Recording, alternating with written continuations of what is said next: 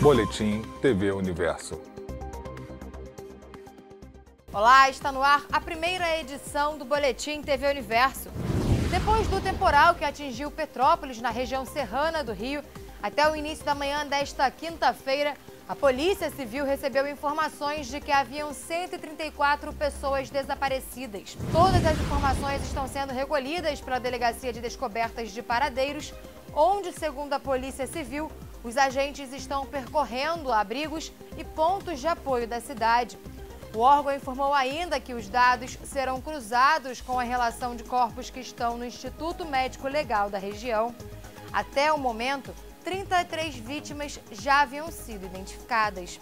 E de acordo com o secretário municipal de saúde do Rio de Janeiro, Daniel Sorrães, a vacinação infantil contra a Covid-19 foi suspensa novamente devido ao baixo estoque de doses. Torrães informou que o estoque da vacina Coronavac já estava zerado há mais de uma semana e que o da Pfizer pediátrica está no limite. Segundo o secretário, a quantidade não sustenta a manutenção da campanha. Sorrães frisou ainda que somente as crianças que estavam pré-agendadas nas escolas serão vacinadas nesta semana.